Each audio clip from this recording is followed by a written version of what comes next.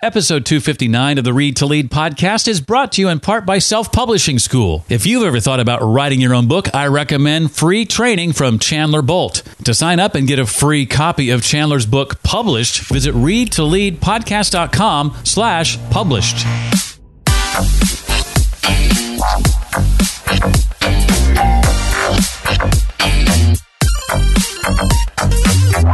You want to have a group that just nurtures those crazy ideas that are the opposite of what you believe. They challenge your accepted wisdoms. Maybe most of them will fail, and that's fine. Hi, and welcome to the Read to Lead podcast. It's the podcast dedicated to your personal and professional growth. I'm Jeff, and I believe that if you desire to achieve true success in business and in life, then intentional and consistent reading is a must.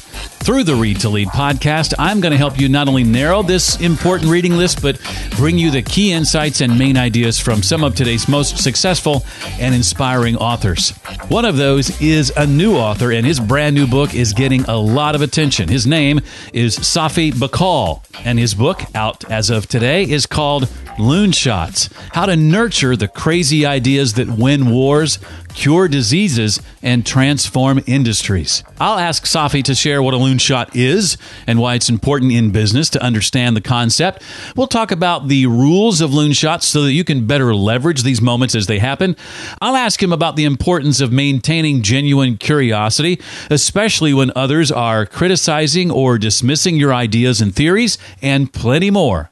Before I bring Safi on, I want to make sure you know about the free online conference that I'm hosting starting April 30th and going through May 7th of this year, 2019. It's called the Boss Free Virtual Summit, and you can find out more about it at bossfreesummit.com. Now, this conference is for you if you've ever dreamed of being your own boss, starting your own business, doing your own thing, or would just like to explore some of those ideas. Again, it's free, there's no risk. You can sign up and get registered right now at bossfreesummit.com com. You know, one of the keys to exploring this path is being able to do so with a bit of discretion. I've thought that through for you. You can attend the Boss Free Virtual Summit from anywhere and watch on any device. Even if you're not quite sure this is the path for you, the Boss Free Virtual Summit is a great step in the direction toward figuring that out. Registration is free and easy. Again, it's bossfreesummit.com.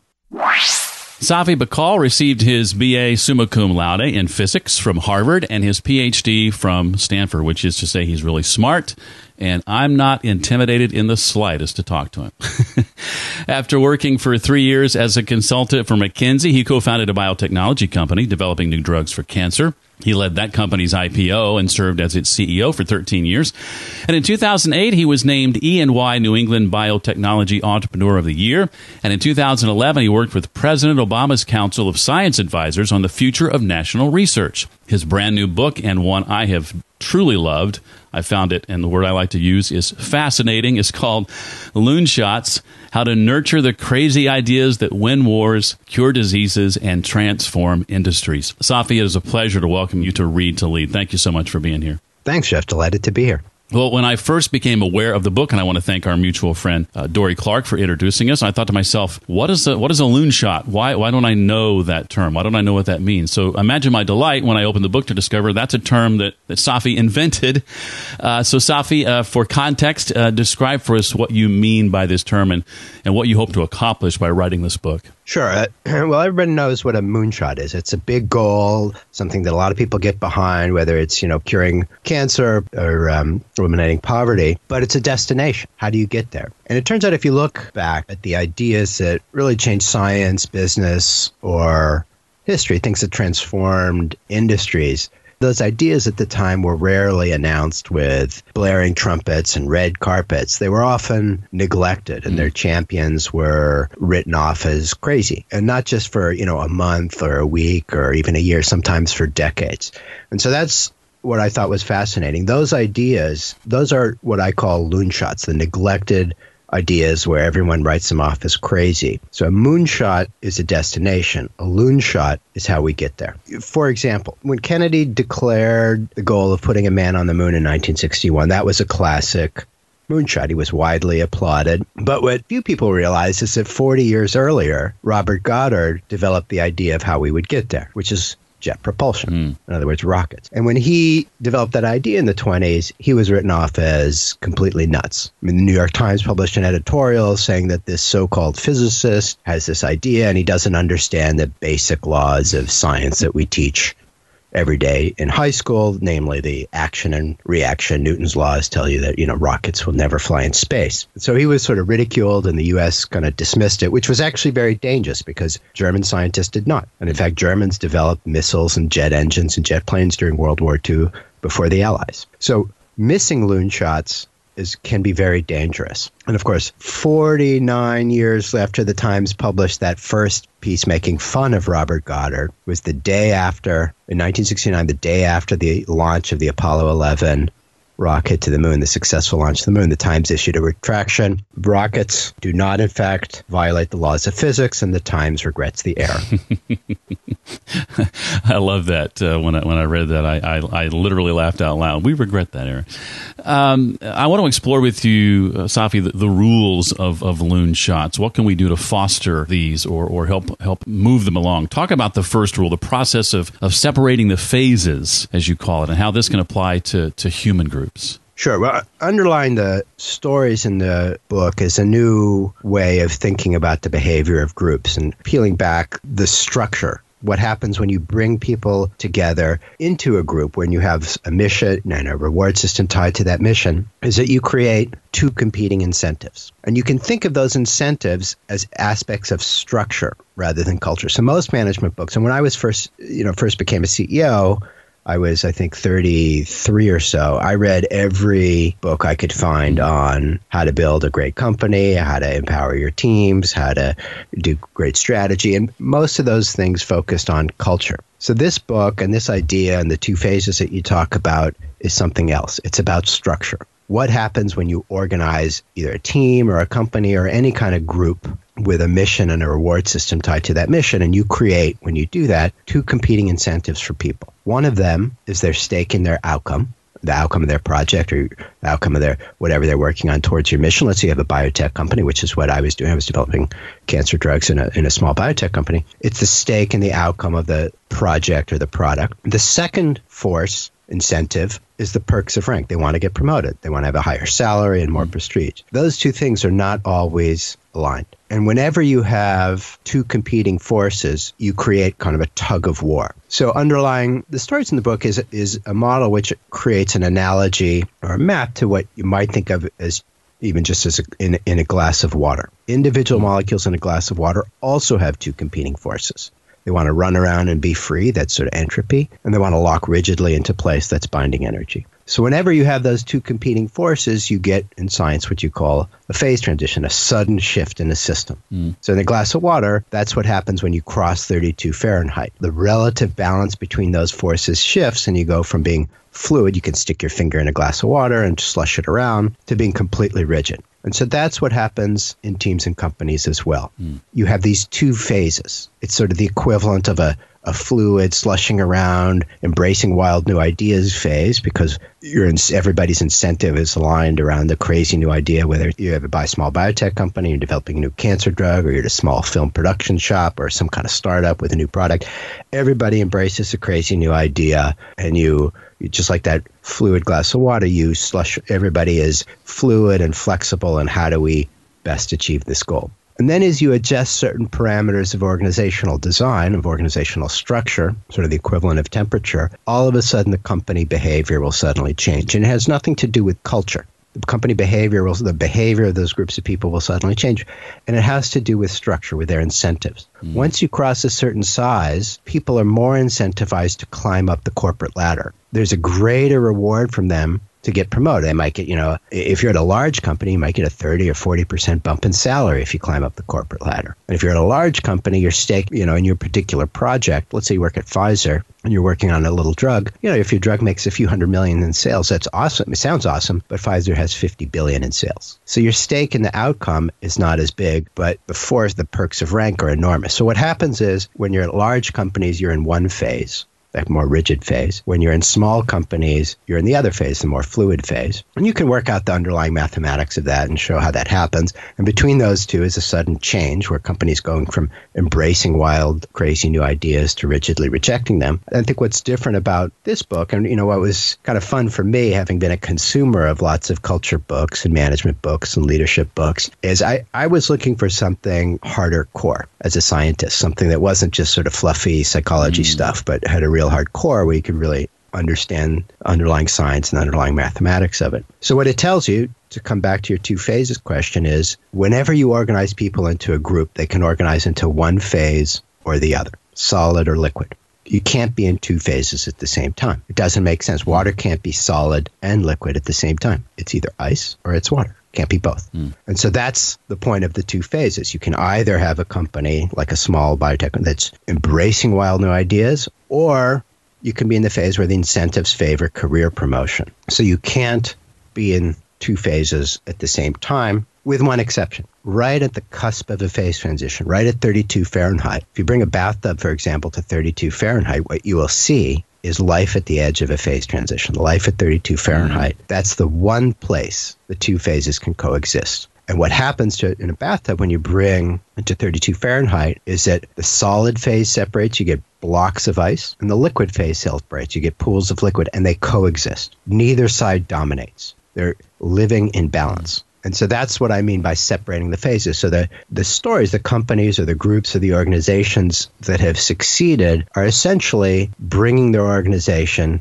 to 32 Fahrenheit. They create one group that's focused on operational mm-hmm. excellence and execution, and one group that's focused on embracing wild new ideas. And the leaders or the managers, rather than you know diving into the weeds in one group, you know, hey, what's your new idea? Let's do this one, or diving into the operational excellence. Here's how you want to hit your sales targets and or build your machines. They focus on getting the balance between those two groups correctly. They separate the two groups. That's the phase separation, one solid, one liquid. They create a balance between the two groups. They make sure that neither side overwhelms the other. So that's what I mean by the separation of phases. And what you're describing there, if I understand correctly, is, is what you then get into in, in, rule number two, which is creating dynamic equilibrium, right? Exactly. So if you bring a bathtub to 30, this may sound a little weird to professional, you know, uh, managers or CEOs. You know, having been a public, I was a public company CEO for seven years, and believe me, if I went to one of my portfolio, you know, I have a lot of investors and public shareholders, and if I on an earnings call, so let me tell you about how our company is like a bathtub, and my job is to bring this bathtub to 32 Fahrenheit. You know, my board of directors would have gotten some calls. What is wrong with Safi? is it time to talk succession plan? Mm. So that's you know that's more for the internal discussions you know, with your team. It's it's it's a helpful guide. I'll, I'll talk about the bathtub for one minute, then I'll bring it back to the real world CEOs and executive team meetings when you have life at 32 fair, when you when you have uh, life at the edge of a phase transition, you have your artists in one group, your creative scientists, or your your, your wildly creative types in one one side, and the the soldiers who are executing your sales and marketing staff, your operation, or your assembly. That phase separation does often happen in companies. Companies do often build innovation labs, for example, where that's the idea. It almost always fails. Why does it fail? because they miss this second rule, the idea of dynamic equilibrium. Mm. So in real life, when you have phase separation and you have blocks of ice and pools of liquid, it's not static. Molecules in the pools of liquid are swimming around and then they encounter a block of ice and they lock and they freeze. Molecules on the block of ice start jiggling and then swim off the side and then join the pool. It's a constant cycle back and forth between the two. And that's what good managers or leaders do. And that's why most innovation labs fail. Not because they haven't come up with good ideas, it's because of the lack of transfer between mm. the two sides. So I, I can give you an example. The first uh, story is about World War II and how Vannevar Bush helped turn the course of, of the war and helped the Allies win. And so what what he did, and he was a famous uh, engineer and inventor and scientist, dean of engineering at MIT, and he had, he also knew business quite well. He had started a company which eventually became Raytheon, but he also understood the military. He'd been uh, working with the Navy for many years, and in 1939, he understood, like a, a number of people, not many, that the odds did not look good for the Allies. In early 1939, although we're obviously looking with hindsight, it mm. seems inevitable that we won. But in early 1939, the odds did not look good. The Germans had developed this new technology, the U boats, that looked ready to strangle the Atlantic and cut off Europe from uh, America, which they did. They did that for the first three and a half years of the war, and the, the, Allies had no answer. The German planes, the Luftwaffe, looked like they were ready to bomb Europe into submission. Had, the Allies had no answer, and that's exactly what happened. Within weeks, bombed Europe into submission, except for England. And then in early 1939, the two German scientists discovered something called nuclear fission, splitting the atom, which put Hitler within reach of the most dangerous weapon ever invented by mankind. So Vannevar Bush quit his job. He was offered to, if he would stay, that, to, to, that they would make him president of MIT. But he said, you know, this is too big of a national risk. He quit his job, moved to Washington, talked his way into a meeting with FDR, and said it was a 10 minute meeting, but it probably changed the course of the war more than any any other such meeting. And he said, "There's a war coming," which FDR understood, and he said, "We're going to lose because it's going to be a technology driven war, and the military will never catch up in time." And if you are a CEO, you know this feeling. You have this great franchise, but you see your competitors coming up with this crazy new technologies and how do you move your organization to compete mm-hmm. with all these all your tiny competitors that are coming up with these really good technologies? And that's what vannevar bush saw. And the answer today about you know a lot of management books is oh you know just tell everybody to innovate. And that's wrong. That's a problem. But bush understood that back then. And he said it's not that military leaders individually don't want to innovate. It's not that they're bad people. Everybody individually loves innovation Mm. Everybody. All of those military leaders want the next gun or gadget. But when you organize them into a group, you get this, what's in science called this emergent behavior, this phase. Mm. Where as a group, you end up rejecting new ideas, even if individually you all love them. He understood that. So he said, you know what? Nothing to do with culture. Forget culture all the, these military guys are great, and he was friends with them, and he, he was able to influence more war more than others because he had a lot of respect for the military, unlike other scientists. And he said, "I'm not going to try to change culture. They have the right culture for what they need to do. They do, in fact, need to move millions of soldiers in four continents. They do need to build millions of guns and ships and planes and get them to people. They I need to create a separate structure. So he did the phase separation. He created a group of crazy scientists working on crazy ideas they developed the technologies that really turned the course of the war. The microwave radar that identified the U-boats and helped free up the win the Battle of the Atlantic and, and so on. But the key was rule number two, which you got to dynamic equilibrium. Within a year or two, Bush realized the problem wasn't coming up with these new ideas. The problem was the, the dynamic exchange of those ideas between the two groups. For example, the scientists, the, he created a quarantine group at MIT, and that was a group that ended up developing microwave radar. That was a technology that allowed uh, pilots to see U-boats anywhere in the water and then just shoot them down like fish in a barrel. when the scientists at MIT finally developed that, they were, you know, partying. This is fantastic. We did a test. We can see a U-boat, Boston Harbor. This is awesome. Let's just give it to the pilots. And so they launched it off, and nothing happened. They launched it off the pilot for almost a year. Nothing happens. The pilots wouldn't use it. So Bush got on the job. He said, "Look, why aren't pilots using it?" And he had the scientists go in the cockpit, in the planes with the pilots to see what was going on. And what they realized is that the pilots they liked the new technology, but in the heat of battle, the technology, the box that they had, you know, had these like 14 switches. They just didn't have time while they were being shot at to figure out which switch did what. they realized it wasn't a problem with their technology. The technology worked. The user interface sucked mm. in the heat of battle. Obviously, when they were sitting in a uh, you know in a building in Boston, they didn't have people firing at them every five seconds. Once they saw that, they went back into the lab and they came out with that you know display with that you know little green display with a line that swiggles around that you see in movies and all the little dots. That's called a PPI display. They gave that, gave it back to the pilots. Pilots started using it and within six weeks the U-boats were finished, and the the war had really uh, crossed a turning point. Mm. So the lesson there is that it wasn't just they, the scientists had invented the technology, and the technology was great. It wasn't just getting the pilots to use it, which was hard enough. That's one direction, getting it out of the lab and into the field. But the opposite direction, which people often miss, is equally important getting the feedback from the soldiers in the field back to the scientist in the lab because nothing ever works perfectly the first time. So, to come back mm. to the business world, if you've got a product and you have your, these super creative engineers have come up with these super creative ideas and they're all excited and high fiving themselves and they give it to the sales and marketing team, Well, the sales and marketing team goes out, they test it, a customer uses it, it, it, something doesn't work right. And then the customer just says, "Yeah, whatever. That happens with every product, every product launch first version. So that could be the end of it. If you don't get the feedback effectively and quickly back to the creatives in the lab, you're done. So if Bush hadn't stepped in and forced these radar scientists to get in a plane and see firsthand what was going on, they never would have identified the problem and solved the problem. So you asked about rule number two, dynamic equilibrium. It's the cycle back and forth between those two that's critical. Mm. And this, in many ways, changes how we should think about the job of a leader. So there's this sort of mm. image that the leader is this great holy guru that stands on top of a mountain, a Moses with his staff that says, This is the next crazy idea. You know, the Steve Jobs, we will do the iPod thing. And that's, that's actually not what really happened, not even with in the case of Steve Jobs. It's sort of a myth. It's sort of the, what you read about in the, the newspapers, the headlines, but that's not what really happens. The truly great leaders, the ones like Vannevar Bush, actually stay out of the ideas. Mm. Rather than being a Moses on the top of the mountain, they're more like gardeners. Their job is to manage the touch and balance between these two sides, between the artists and the soldiers. Because those two groups don't speak the same language. They don't have the same incentives, mm. and that's why the transfer usually fails. And so most innovation fails not because of the lack of new idea. Most innovation fails because of the transfer. So the job of a great leader is to manage the transfer, not the technology.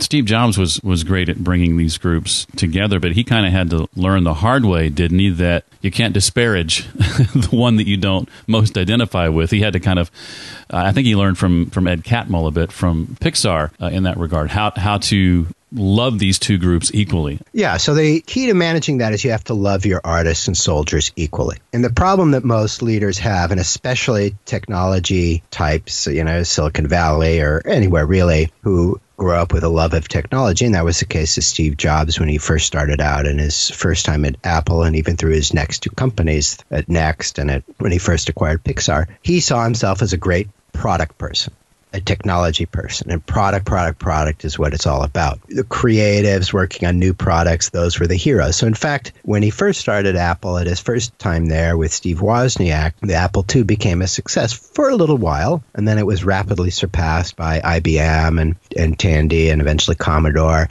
and it started struggling a bit. You know, Jobs was asked to work on some other projects, so he worked on that, tried to work on the Apple II, Apple III franchise, and that didn't go very well. The Lisa project, and that didn't go very well. And finally, there was a small side project called the Macintosh that another guy had developed, a guy named Jeff Raskin.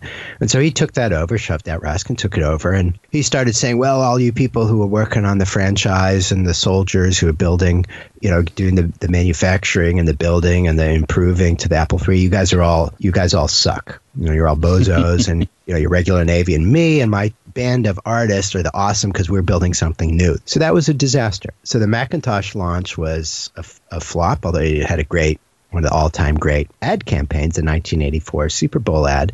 But after that kind of publicity wore off, the Macintosh had a ton of problems mm. and, you know, it would overheat and it was too slow and it just couldn't compete. And so sales completely dropped off. And the company, because Jobs had so antagonized, he loved the artists and ridiculed the soldiers, a lot of the great soldiers left, including Steve Wozniak, mm. who was hmm. working on Apple III. But not only that, many people, and then eventually on his own team. Because when you create that kind of dysfunction and hatred between the two groups, it's not a it's not a good place to work. and so people were fleeing. And, you know, for good reason, the board of directors stepped in and said, look, this is a problem. It's not sustainable. In fact, the company was in very dangerous uh, situation. It was heading for bankruptcy. So he exited and then he started his next company, actually called Next, to build this, you know, another big product because he was this big technology guy. And that flopped. And then he bought the Pixar, what was the Lucasfilm computer division, because they had, he was excited about the big computer and he thought he would use that to compete against Apple. And that flopped. And uh, there was a small side project going on at, at the Pixar. At this, uh, uh, the computer was called the Pixar Imaging Computer, the PIC. There was a small side project. A couple of people in the you know sort of hundred person company were working on trying to make animated movies, and he tried to shut that down a few times, but eventually saw, hey, these guys are their stuff is pretty good. People are liking it, so he kept that going. And he realized through that, and especially through the film business, once he started getting more involved through Catmull and, and Pixar, is that they have learned that you need both. You need the artists mm-hmm. and the soldiers. You can't make a good movie with just artists, and you can't make a good movie with just soldiers and you can't make a good movie if they don't cooperate. You need the people with the really wild creative ideas, but you need the production staff, the team, the operational excellence, the on budget, the timing, the logistics of the shoot, both have to come together. So in the film business, just like in my area, which was in biotech, the artists and the soldiers are forced to work together. Otherwise, you, you fail fast. You're, you're done. In biotech, you need the biologists and the scientists and the, and the chemists and the crazy scientists to work together with the regulatory people and the marketing people. And neither side can dominate too much because if they do, the whole thing falls apart. So you, you're forced to. You don't really have any choice and those are kind of outlier industries because they you know they have these products that take a 10 year timeline and cost a billion dollars uh, to do or you know a hundred million dollars in the case of film a billion dollars in the case of drug discovery. So yeah so jobs learn through kind of exposure to the film industry that you've got to love your artists and soldiers equally. You can't say oh i'm an artist and everybody else is a bozo. So 12 which is what he did in the beginning. So 12 years after he first left apple he returned when apple you know apple had a little bit of a renaissance, and then again, it was going back down the toilet. They hadn't been able to compete or upgrade against the PC clones. Uh, and so they eventually acquired Next for the software. He realized, like, well, actually, the software is pretty good. And then he stepped in, and when he stepped back into Apple, he had learned to love his artists and his soldiers equally. You know, his artist was, let's say, the, the example is the, the Jony Ive who is the designer behind many of the great Apple products. And the soldier, well, Tim Cook, who is currently the CEO, was called the Attila the Hun of inventory when he was at Compaq before he was recruited to Apple. And so Jobs didn't say you're better or worse. You know, this guy who's the, this awesome, brilliant designer is better or worse than this guy who's the Attila the Hun of inventory. You're equal and I love both of you equally. And in fact, his successor was Tim Cook, the soldier, not Jony mm. Ive, the, mm. the creative. So, yes, that's about learning to love your artists and soldiers equally. It's a very common trap that you see all the time that people say one is better than the other. Many product technology innovator types miss that. Jobs had the good fortune to be wealthy from his first time at Apple. So he survived, you know, 10 years in the wilderness and all the mm. kind of mistakes and problems and had a second chance. Uh, many people don't get that second chance. As I mentioned at the beginning of this episode, Safi's book is getting a ton of positive attention. Uh, Washington Post includes it among the 10 leadership books to watch for this year. Inc. includes it in its list of 10 books you need to read this year. Business Insider includes it in its list of 14 books everyone will be reading this year.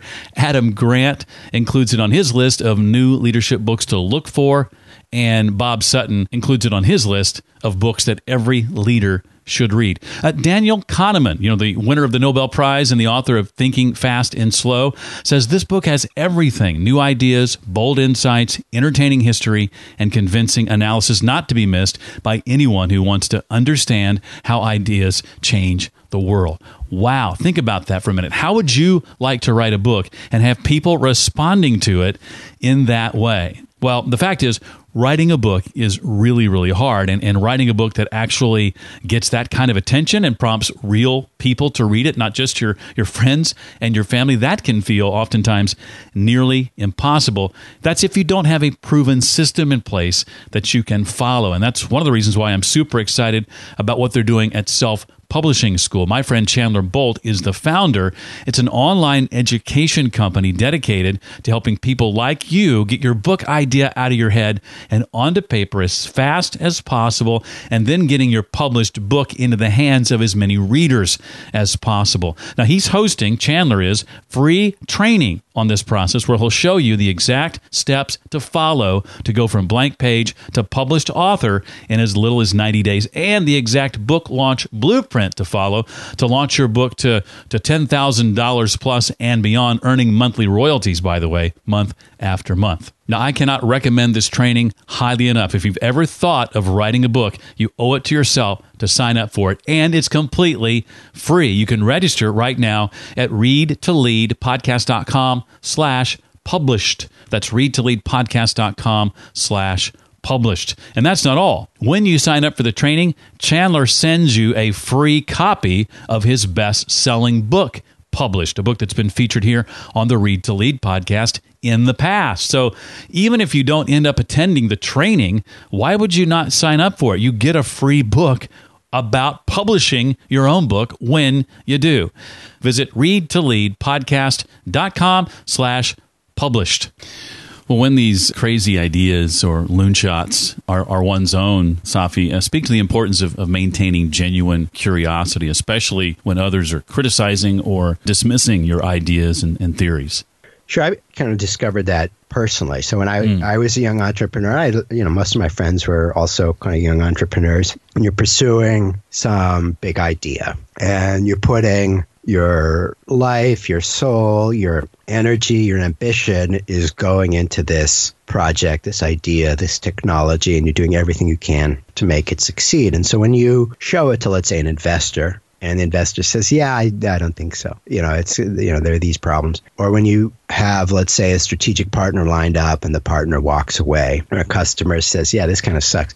That's a very hard message to hear. Often people tend to react. The natural inclination is to react by dismissing. Well, this investor didn't get it. This partner didn't get it. Mm-hmm. Let's just keep at it. And the problem with that is that you don't improve. That's not the way you ultimately succeed. And one of the things that I learned just from being around a couple of really brilliant scientists and inventors is uh, something I thought of because uh, I, I don't remember very well unless I have a mnemonic as mm-hmm. LSC. Listen to the suck with curiosity. Mm-hmm. Either entrepreneurs or scientists or inventors, rather than dismiss or attack their challengers, they would probe why. They would set aside the emotion and the disappointment and really keep after them, help me understand, like a detective. Mm. What exactly, where exactly was the fail point for you? When exactly did you decide this wasn't working? And by teasing that out, they would collect enough data points to infer, oh, I had a blind spot. I didn't see this. And then they could go up to the next level on the staircase. And I, I, worked with a guy who absolutely deserved the Nobel Prize, a guy named Judah Folkman, who invented this idea of blocking uh, blood flow to tumors, now called angiogenesis, and behind many drugs that have helped tens of thousands, hundreds of thousands of patients. And he had a lot of ups and downs in his career. In fact, one time, the, I think it was the Wall Street Journal published, you know, scientists failed to reproduce Folkman's results, which is, you know, when you get a headline in a major national newspaper that your results are irreproducible. That's kind of a career ending move. you know? So rather than get angry at the people who told the reporter this, you know, he called them up to try to figure out, help me understand exactly where your experiments are failing. And by doing that and probing, he came up with something really surprising, which is that when he was shipping the materials from his lab, when he was freezing them down and sending across country, the freezing process created a leakage between the plastic that contaminated the material. So it was no problem for people locally, but it was a problem just from the freezing process. So he changed how the materials would ship and then it started working again. And that's an example of LSC, listening to the suck with curiosity. You know, if you work really hard on something, if you have a beautiful a baby, you think it's beautiful. So it, mm-hmm. it's hard to hear when somebody says, I don't like your baby. And but it's even harder to say, help me understand why. In, in that particular example of not being able to replicate those uh, results, you call a false fail if memory serves correct that's that's this idea that it just didn't work in that new environment doesn't mean it's not a permanent failure that's right. So that's something that's, if you look at many great breakthroughs, they never worked the first time, or very rarely worked the first time. They went through these multiple failures or multiple deaths. I call it the three deaths of the loon shot for some mm. other stories I tell there. But I'll give you, you know, another example of a false fail. The way I think of a false fail is it's a failure in the experiment, a flaw in the design of the experiment, not in the underlying idea. So when Mark Zuckerberg was first shopping the idea of Facebook, of a social network, it was not the first social network or the second. It was about the 15th or 20th social mm-hmm. network, and none of them had taken off. And what happened with social networks, and right around the time he was shopping it around, there was uh, Friendster had been the social network du jour, the, the, the one that had grown really rapidly. And, I remember. And then was was starting to decline and people were leaving Friendster for some new one called MySpace. And so investors, most investors had written off the whole idea of social networks for the what seemed like an obvious reason is like, well, these things are just like fads. Because you see, we had these other 10 networks and everybody started them for a while and then they hopped to the next one. They hopped on Friendster and then they hopped on MySpace. They're just like jeans. You know, you, you wear one one season, then you wear a different one. And most investors wrote it off. That was obviously a false fail. That was the false fail of Friendster, if you want to alliterate. and it was uh, Peter Thiel. There's a friend of mine who worked with Peter named Ken Howery, who was uh, helping him with his private investments, who took a look at this and said, you know, I, we know some of the people working at Friendster. Everybody seems to be saying that these are bad businesses, bad business models. They're like jeans let's probe that. Let's listen to that suck with some curiosity. Let's just take a look. So they got the data, asked Friendster for the data on user retention, and they knew that Friendster had problem with their website. The website would start crashing once they went from a few thousand users to close to a million. The website had a bunch of glitches, and they, they knew that for personal experience, and they knew that Friendster had struggled and not been able to really solve that website glitch problem. So then they went and looked at the retention. They found, holy cow, people are staying on this site not for minutes, but for hours, mm. despite this hor- you know horrific website problem. Like, why would they be doing that? Mm. Because it's a great business model. Because they get like, wait a minute, Friendster is failing because they have a software glitch on their website, not because it's a bad business model. So he wrote, uh, T wrote a check for 500,000, which he sold eight years later for a billion dollars. And that's an example of a false fail. It was a flaw in what people were looking at, but not a flaw in the underlying idea. Mm pretty pretty good return on investment, I would say. Yeah, it was not bad. not bad at all. Well, uh, you've mentioned uh, early in our discussion, I heard the word disruption uh, come up a time or two. Some might think that a loon shot is essentially the same thing. How is the concept of a loon shot, Safi, different from disruption or disruptive innovation? They're not the same, are they?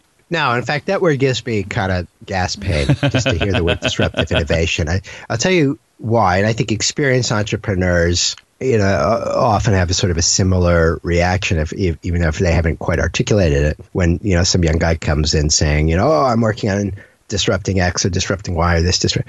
The reality is that when you have an idea that's new and that's different and that challenges conventional wisdom, you have no idea where that is going to end up. It's sort of like a leaf in a tornado. And so people who have been through this kind of stuff know that predicting the future of an early stage idea is practically impossible. Mm-hmm. So the problem with disruptive innovation is that it's a statement about the future. My little idea is going to have this effect in 10 years. Mm. And as you know, one of my favorite quotes is there are no experts of the future, there are only experts of the past. Mm.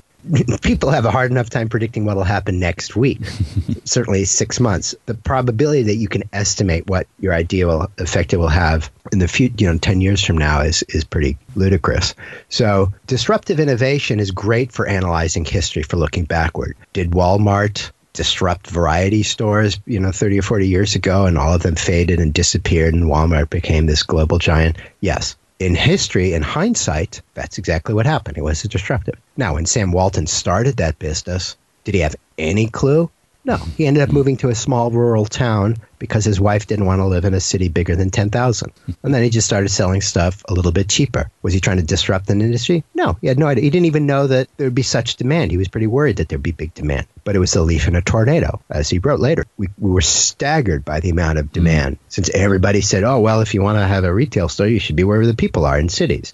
he ended up being in these far rural areas, and it turns out people would drive far. Lots of people would drive far to get to these big stores. So, was he working on disruptive innovation? No. So, looking forward, it sounds a little silly to say I'm working on disruptive innovation. If you are a history professor or a business school professor writing about changes in an industry looking backwards 30 years, then you could say yes, da, da, da, da. But if you are day to day an entrepreneur, especially if you're at a company or a leader or an executive, you can't predict the future. And it sounds kind of silly to try to predict the future. Not only is it silly, it's kind of misleading because if you only work on things that you're sure will disrupt an industry, you're going to miss the really important things that you had no idea. I'll give you an example the transistor. Probably no invention disrupted human society in the 20th century more than the invention of the transistor. So, when the first guys were working on surface states and the properties of semiconductor junctions. Were they working on disruptive innovation? No. After they invented the point contact transistor in 1947, did they have any useful applications for it? Nope. No, they were they were trying to build better switches for the phone system, mm-hmm. and unfortunately, the transistor was useless for that. It was too expensive and too unreliable to use in the phone system, so they didn't know what to do with it. Eventually, somebody said, "Well, you know, we can't stick vacuum tubes inside hearing aids, but we might be able to stick these transistor things. You know, even though they're expensive, people will pay a lot of money for a hearing aid. So mm-hmm. let's try that." So five years later, they got transistors and hearing aids. So the first application was a hearing aid. So rewind, looking backwards, we can say the transistor may have been the most disruptive innovation of the 20th century. But if you're there and you're an executive at AT&T, Bell Labs, you're going to say, you know what? Let's disrupt the hearing aid industry. Is that what they were saying in 1946? no, they didn't. Let's let's work on disruptive innovation for the hearing aid. No, they were just trying to build better switches and figure out. So, if you're an executive, the lesson for you is if you want to study history, talk about disruptive innovation. But if you want to nurture, if you want to challenge your beliefs, because that's how you get killed in business. You have some embedded assumption that you think is absolutely certain, and then one day you read a press release, you open the newspaper, open sorry, open the newspaper is 20 years ago. You click online, you read a headline about how your competitor has just come out with this product that makes you obsolete. That's because he was nurturing some idea that challenged your embedded assumption. So if you want to survive, the lesson is forget about disruptive. Not only is that misleading, it's going to hurt you because you will only work on the ideas that somehow you're sure will affect the market. But just like the transistor, had they been doing that, had their leaders at AT&T only been working on stuff that they were sure, they might have never supported the research that led to the transistor. If you're a leader and you don't want to read that headline about how your competitor has just made you obsolete because he challenged and surprised you with an assumption that you knew was true, what you want to do is nurture those crazy ideas that challenge your accepted beliefs internally, not read about them in a headline a couple years later. So if you're a leader, the lesson for you is the next time somebody comes to you and says, I have this, you know, kind of slightly crazy idea, and your gut reaction is, this is the stupidest thing I've ever heard. I know for sure. I've been in the industry. I've been doing this 20 years. And I, I've been in that position. You know, by the time I was a CEO for 10, 11, 12 years, I felt like I had a pretty good sense of how things worked. So when someone comes to you and says, I've got this sort of kind of crazy idea, and it sounds just idiotic, that might be a loon shot. Mm. So what you want to do is ask yourself, do I want to take the risk that my competitor works on this? And maybe I'm wrong. What happens if I'm wrong? What happened if this kid with this crazy idea is right and everything that I'm sure is true is wrong? Well, then, you know, fast forward a couple years, somebody else will have been working on it, and I'll be reading this headline about how I'm suddenly obsolete. So what you want to do is forget all these market estimates and disruptive and it's going to make a blah blah and it's going to transform the industry and blah blah blah. You want to have a group that just nurtures those crazy ideas that are the opposite of what you believe. They challenge your accepted wisdoms. Those are the loon shots and maybe most of them will fail and that's fine. You're investing them for the one that could be the bullet to your head 2 years from now. Mm. I think one of the best examples from the book of this idea of loon shot versus disruption that Safi gives is is IKEA. They're often looked at as having disrupted the, the furniture industry, but but truth be told, furniture store owners retaliated by forbidding designers to work with them, for example. And I love the quote from IKEA's founder that you include. Who knows whether we would have been as successful as we were if they'd offered us an honest fight. and it's so true. That's right. I mean, if you're a business school professor and you write a case study, you say, "Oh, look, you know, IKEA disrupted the blah blah blah. They did, you know, these giant warehouse stores, and they did uh, self assembly, and they cre- hired their own designers instead of, you know, farming it out, and all of these were great disruptive innovations." Well, that's great if you're a history professor writing a case study and teaching how it played out. Mm. But that's not what happened in real life. if if you were that, I actually can't pronounce his name. I don't know how to Ingvar, whatever. I, I, you know, I don't know the sweet. But if you were the IKEA founder, that's he was just a young guy with a mailing list selling, you know, pens and pencils, uh, you know, and, and Christmas cards mm. off a mailing list. And he said, "Oh, I think I want to add some, you know, maybe some furniture." And uh, the major furniture retailers in Switzerland said, "Well, that's a terrible idea." So they made life. They said, "You can't exhibit." He wanted to exhibit and show him. So he said, "Yeah, you know what? We're blocking you. You mm. can't exhibit." So he had to go build his own showroom. And then they cut off suppliers. And so they said, you know what, you can't work with this young guy if you want to work with us. And so the suppliers in Sweden all cut him off. So he said, oh, he got on a plane and he went to Poland and he found suppliers there who did just as good work for half the price. And he was able to lower his price because of that. Again, was he trying to create a disruptive innovation by you know, getting suppliers in Poland to do it. No, he was just trying to survive. Was he building a showroom because he was thinking, I have this disruptive idea I'm going to create? No, he was just locked out mm. because these guys are trying to play unfair. And so he was just trying to survive. And when he opened his first warehouse, just outside Stockholm, you know, the, he, because he had these good low prices, he was kind of mobbed. So the guys at the front desk said, you know what, just go back there and like pick out whatever you want and bring it up front. And all of a sudden that worked great. so was he trying to disrupt people with this whole, you know, you shop for yourself and you bring the price? No, he was like, he was just trying to survive.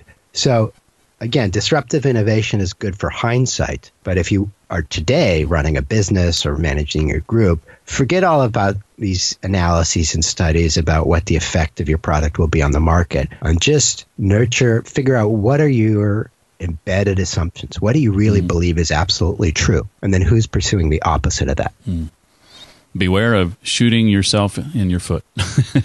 That's right. Um, I got a couple of questions, Safi, not directly related to the book. Before I get to those, um, is there anything else from the book you want to make sure we walk away with? No, you know, I mean, there's obviously a lot of story. We, did, you know, there's stories about the birth of modern science and why was it Western Europe rather than China, Islam, and India, and that that was really fun for me, just because yeah. I have a, a bug for history, and in fact, that's sort of how I started on this project. But I think we've we've touched on a. Mm a nice selection. So. Well, I'm glad you brought up that last part because uh, the way you ended the book, I thought was just the icing on the cake. And so we'll we'll leave that for folks who, who want to dive into the book and purchase the book and, and enjoy that for, for future reading. So thank you. I want to ask you about the books you've read over the course of your career, and I know that may be a lot. If you could uh, pick your favorites, those books that have had a particular impact on you, maybe two or three, and, and why they impacted you as, as they did you know, I, I, if I think back just in the last year or two, you know, I don't know how relevant this will be for on the business side, but on the writing side, if you want to write, there were there were two books that really stood out for me. If you want to write in a way that engages a broader audience, and I, you know, I came from academic world, so I, there's this kind of horrible academic writing style, and if you're in the business world, there's probably an equal, there's almost certainly an equally horrible business writing style that's that's kind of horrific to read. But I, I probably spent two or three years just unlearning, unlearning all the bad habits from uh, writing and either an academic style or a business style. And I would say probably the two books that were most helpful for me, and part of that is just training your ear to hear and recognize the rhythm and cadence of words. For me, the first one was uh, Nabokov's uh, short story collection. Mm. And I, I didn't really read to, to train the ear. I actually didn't read full novels or full stories or full nonfiction books.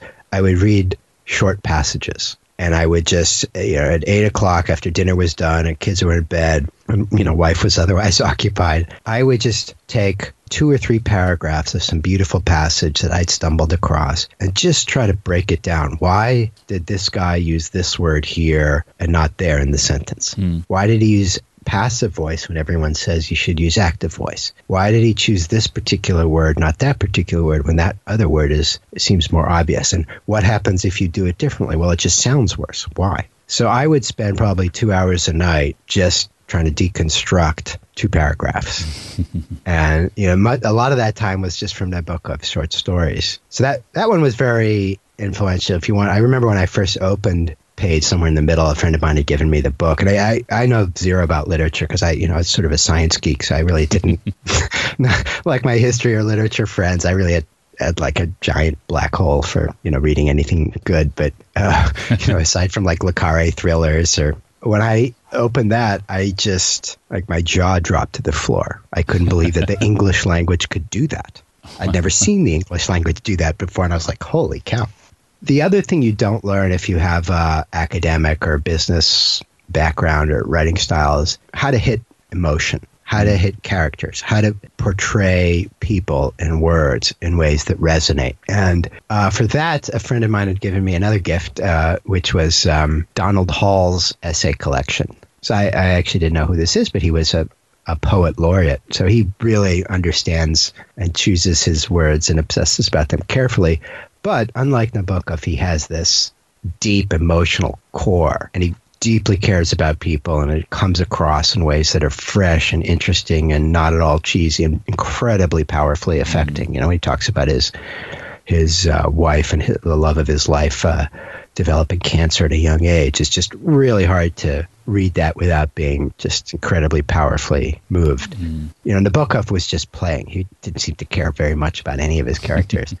Hall wrote with just incredibly deep, interesting, powerful emotion. So I, I would recommend, you know, if you're a business person and you want to open your mind a little bit to some beautiful writing and, you know, just read Donald Hall's uh, mm. essays after 80. It was fantastic. Well, I want to end, Safi, by asking uh, what's ahead for you besides promoting the book. What's ahead for you and your team that you're currently excited about? Uh, well, I have two projects. One is uh, maybe a little more technical. You know, this book is about the idea that organizations will have these phase transitions, these phase changes, and why they will. Hmm. That anytime you bring a group of people together, you create the conditions for a phase change, just like mm. you do when you bring molecules together in a glass of water. So it's a different way to view organizations. And as part of writing this, I was trying to give some examples of phase changes or phase transitions. You know, I gave the example of uh, fires spreading in forests. You know, they go from contained to wildfires. I gave an example of traffic on highways going from smooth flow to jam flow. That's a phase transition. And then I thought, when I was writing that, I thought, you know, oh, there's another obvious one which should be pretty easy, which is uh, markets, financial markets. Mm. They go from a rational phase to a bubble phase. So that should be easy. Uh, well, it turns out that wasn't that easy. you know, I was going to, I went to start looking through the literature, you know, so that I could, you know, use two paragraphs, sort of like some funny short example that everybody would know, because everybody knows that markets have bubbles and crashes. Mm. Everybody knows that. Yet, as it turns out, and I also had not studied much economics, it turns out that economists don't know that. so, in fact, all the Nobel Prizes that have been given for you know the behavior of financial markets, going back to Arrow and Debreu and the general theory of equilibrium and efficient markets, many, many prizes, there's no bubbles and crashes in those theories. Mm. Efficient markets don't have bubbles and crashes. So it's like, that seems a little weird because if there's one thing the guy in the street knows is that markets have crashes. How do you get all these Nobel Prizes for theories where there's no bubbles and crashes? That seems a little off to me. Doesn't that seem a little strange? So, uh, but then as I got a little deeper into the world of economics, I realized economics is full of stuff like that. stuff that the average person knows, but economists with Nobel Prizes don't seem to know. Mm. So I just thought that was kind of a fascinating problem. So I spent a while, I kind of put the book aside, and then I did a similar kind of model that shows why markets will always have bubbles and crashes. So that's kind of a project I really want to, you know, once this book stuff is done, that's my next project. Yeah, wasn't there this idea? I think Greenspan used this phrase several years ago the idea of the, the invisible hand and how the, the definition, uh, the original definition of that got misconstrued over the years. And, and, and again, that, that doesn't really apply to markets, as, as you said. Am, am I remembering that correctly? Yeah, that's right. That's part of this whole markets are very efficient. There's this invisible hand, and that comes from a failure to understand phase transitions. Mm. Efficient markets are one phase. And so when Greenspan was, you know, saying after the, the crisis, after the financial crisis, he says, well, you know, with notably rare exceptions, markets are well behaved and efficient. you know, that I remember there was some other economist saying, well, that's sort of like saying Germany has been at peace with its neighbors in the 20th century, with notably rare exceptions. Mm-hmm. Actually, you're kind of interested. That's exactly what you care. You care about the. It's like a weather forecaster saying, you know, well, it's it's sunny. Uh, you know, the, the rest of this month is going to be sunny with you know notably rare ex- exceptions. It's like only understanding good weather with understanding and what you really want to understand are those storms and those droughts and those mm. exceptions. You know, you want if you go outside, you want to know are you going to need an umbrella. So yeah, this different way of thinking. It's this kind of it's called the science of emergence. Gives you a handle on that. It gives you a fresh way of thinking about that. And I think you know part of what's interesting for me is that if you look back in history, 20th century science was all about trying to understand the very very small or the very, very large. Mm. What's inside an atom? What's inside a proton? What's inside a neutron? What are the quarks and gluons doing? So that's the very small or the very large, the trillions and trillions of galaxies in our universe and what's the dark matter between them and what's the dark energy that's making the universe expand. But it's that glass of water, the in between, the science of emergence. Why do groups act in these mysterious ways? That I think is what the 21st century science is going to be about. It helps us under, it can help us understand, for example, the behavior of the brain. You can study an individual neuron, but what do groups of neurons mm. do? And you can use that to tease out disease states between epilepsy and normal brains and so on. So that's kind of what's exciting for me is applying these ideas more broadly. And tracking terrorist cells and that sort of thing. uh, that's right. That was another application using that to track terrorists online. Yeah. Well, a fascinating book begets a fascinating conversation. Somehow I'm not surprised. His name is Safi Bahcall, and the book again is called Loon Shots How to Nurture the Crazy Ideas That Win Wars, Cure Diseases, and Transform Industries. Safi, thank you so much for giving so generously of your time. I really appreciate it. Thanks for having me on, Jeff. Been fun. Well, if you're like me and you feel smarter now just hearing Safi speak, wait till you dig into the book. I absolutely loved it, and I think you will too. To get it, to dig more into what Safi and I talked about, including some of the links and resources discussed, you can visit the show notes page for this episode. It's a blog post dedicated to today's episode. That's readtoleadpodcast.com slash 259 for episode 259. You'll also find out more information there about our sponsor. That's Self Publishing School, giving away that free book called Published from Chandler Bolt when you sign up for the free Self Publishing School training. The special URL for that, if you want to go right there right now, is readtoleadpodcast.com slash published. And remember, too, that I would love to have you in the audience for my first ever conference, an online conference happening beginning April 30th through May 7th, 2019. And it's free to attend, and you can attend from anywhere on any device it includes 30 plus speakers, all talking about being your own boss, starting your own business, and doing your own thing. If you've ever thought about those things or would just like to explore the idea, you can do so with discretion at com. Again, registration is free. Well, that does it for this week. I look forward to seeing you next time for the next episode of the Read to Lead podcast. Until then, remember leaders read and readers lead.